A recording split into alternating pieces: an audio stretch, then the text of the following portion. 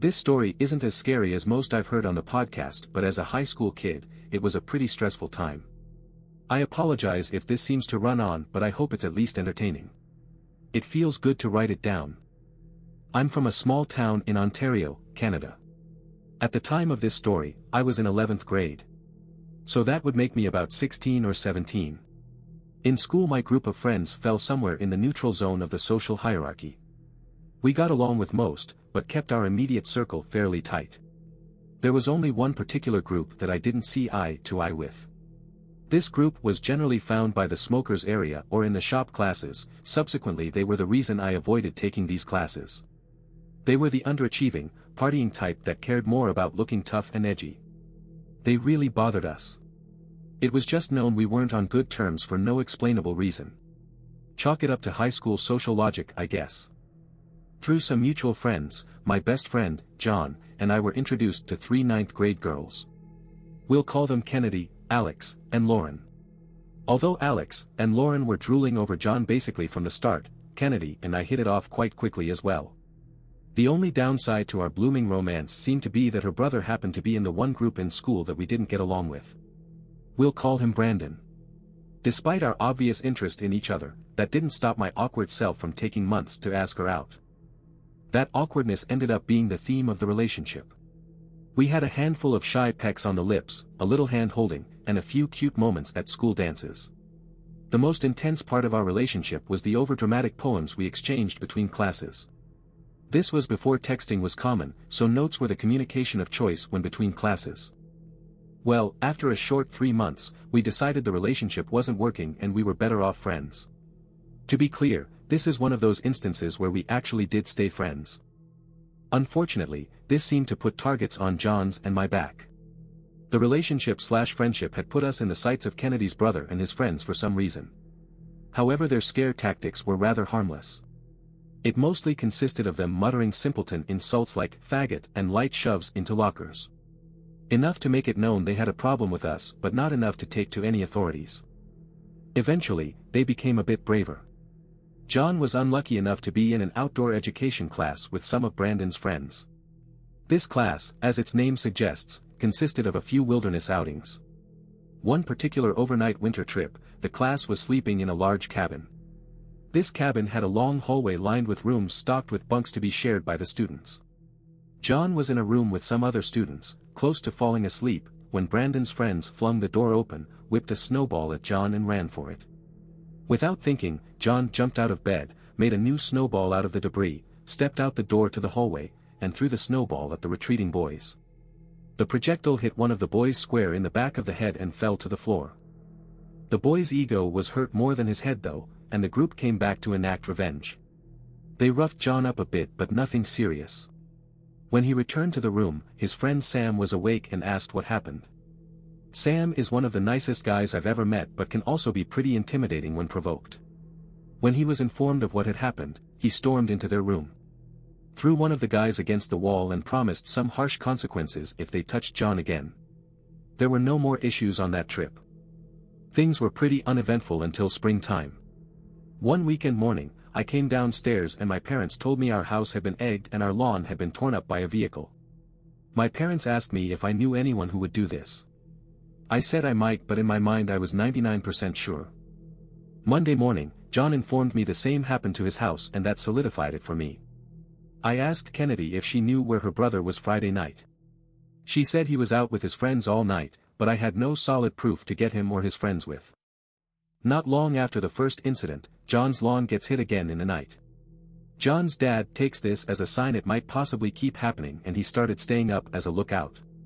It's only a couple nights before Brandon shows up again but John's dad isn't quick enough to get a plate number.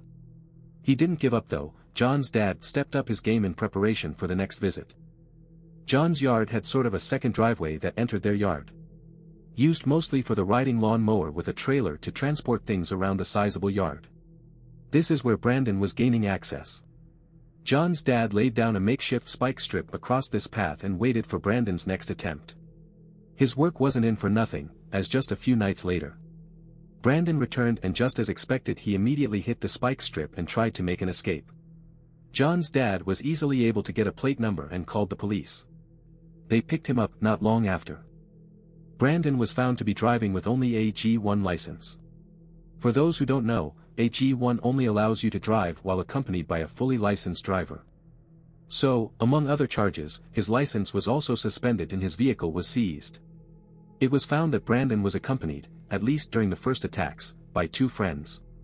They'll be called Mark and Victor for this story.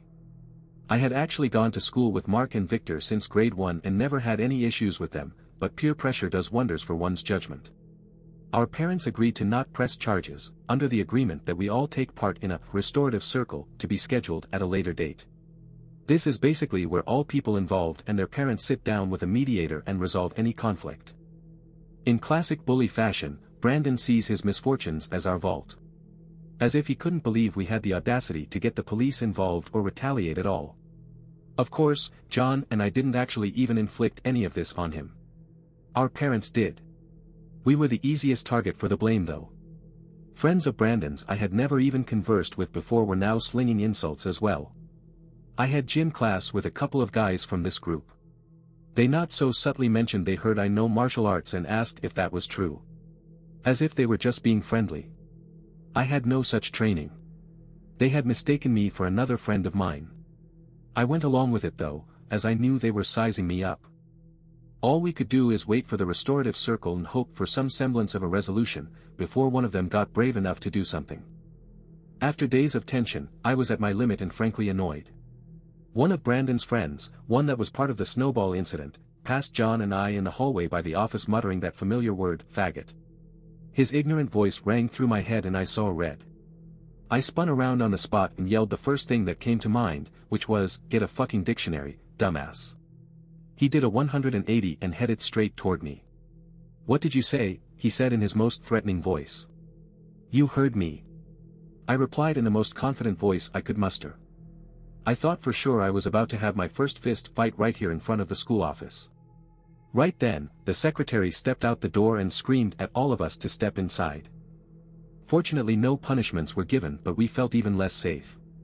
John ended up going home early but my parents didn't see it necessary. Fortunately for me, I had a pretty busy schedule. When I wasn't in school, I was usually at the rink for figure skating practice. So there were little to no opportunities for Brandon and his friend to jump me without consequences. John managed to keep a low profile as well until the restorative circle. When the date finally came for the mediation, it was mostly uneventful. Mark and Victor apologized profusely. This wasn't surprising as I knew their parents would not be okay with this. I carried very little anger for them though, as I knew they were basically bystanders. Brandon, on the other hand, had no remorse. He even tried to reason that he was getting back at me for pressure Kennedy into sex which as I stated before, was not even close. We never got an apology from him but he did understand that he would be facing charges if he tried anything else against. So luckily we never had any more problems, besides their usual insults. I wish I had a better ending to this story but at least they were caught and they faced some consequences. I guess you have to take the little wins sometimes. Some karma that came out of this situation. About a year after this incident, I ran my mom's car into a ditch. The same officer that dealt with that case, responded to the scene. He recognized me and chose not to apply any reckless driving charges. As he remembered, I was, a good kid, in his words. About 10 years after this incident, John's dad has a rental property that he needs plumbing work done on. He has a company come out for a quote, and who else shows up but Brandon. John's dad recognized him immediately, let him assess the extensive work, and then absolutely went with a different company.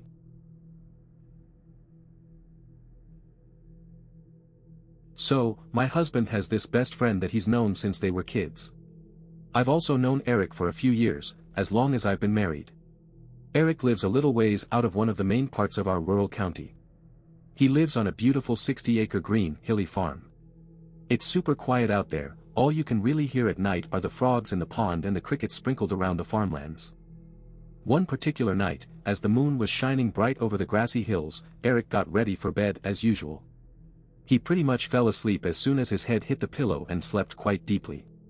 He awoke around sunrise and noticed a slight itch in his ear, but he soon fell back to sleep for a few more hours. But, when he woke up again a few hours later, he noticed that he kind of had a slight, prickly feeling earache. He sat up in bed and tried to clear the grogginess and sleepiness from his head for a minute. He headed for the bathroom to relieve himself and as he did, he thought he felt a light scratching in his right ear, the same ear from earlier that itched. Need to trim those damned ear hairs, he thought to himself. After he finished with the toilet duty, he paused at the sink to splash his face with some cold water. As he dried his face, he happened to glance at his tired reflection in the mirror and he thought he caught a quick glimpse of movement from his right ear. He turned on the bathroom light and peered closely at his ear in the mirror.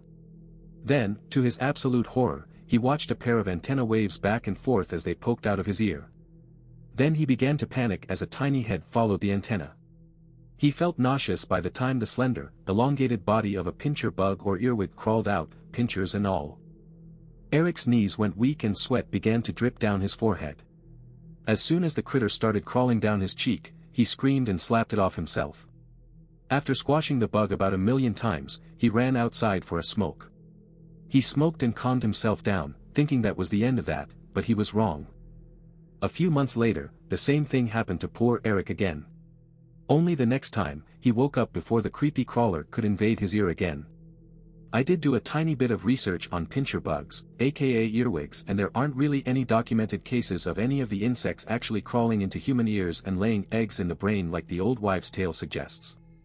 I'm just glad that I wear earplugs to bed. I just started remembering what it was like being 9 years old. My son, Wyatt, is the same age now. He's my only kid, and he's a gentle and curious boy. Which is why I worry this whole thing is about to go horribly wrong. I was tough, but I think my parents' divorce was what set it off for me. I didn't see it coming, and wasn't prepared for being alone in our big house with just my mom. But dad had to leave, so it was just us. Everything felt different after he left. Especially my room. It always felt like there were sets of eyes following me from under the bed to the closet. And then back again. I'd walk past the closet and see movement in my peripherals, but I'd never turn fast enough to catch it. The incidents in the closet grew over time. It'd be every three or four nights sometimes six. Sometimes ten. Just long enough for me to hope the thing wasn't coming back. But then I'd be lying in bed, and a coat hanger would twist and squeak. Or a toy block would tumble or pages in a book would flip. One night my closet door slowly creaked open.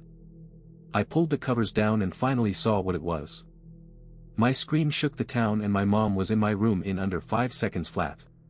She'd been awake and trying to drink herself to sleep down the hall.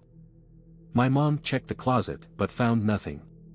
I convinced her to let me sleep in her bed that night, but she was adamant it wouldn't become a habit. I knew I couldn't stay in my room anymore. And didn't really want to stay in the house. But I didn't like the idea of that thing in my room. Or near my mom. So the next night, I made a plan and spent the whole day preparing. It was shortly after midnight when my closet door creaked open. A tall, impossibly long-limbed figure ducked out from under the frame of the closet, and into my room. It moved awkwardly, like a man unable to fully control his limbs. His body and head were tiny, reminding me of daddy long-leg spiders. The man had to curl under the ceiling as he approached my bed. He leaned over the tiny mound under the blankets, and peeled them back to reveal. Clothes, strategically placed to resemble my body. And in the center, a knife pointed upwards, taped to a mechanical toy trebuchet. Its trigger pin had a long string attached to it, which ran off the bed and behind the dresser, along the wall. And to a mound of clothes in the corner. Which I was hidden in. I tricked it. I pulled the string and the pin yanked out. The trebuchet snapped forward and the knife swung up, slamming into the tall man's face.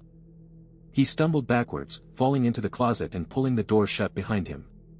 I climbed out of my hunting blind with a hockey stick I'd taped a flashlight to and another one of my mom's knives to the end of.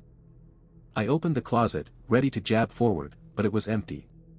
I turned on the ceiling lights and found a trail of strange dark blood from my bed to the middle of the closet. The blood disappeared in the middle of the floor. I cleaned the blood up with bleach and left the light on for the rest of the night. Then I moved to the second part of my plan. Our family were big campers and I'd watched my dad set up the tent plenty of times.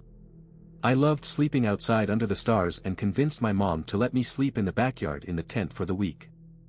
The week turned into a month. And that turned into three months.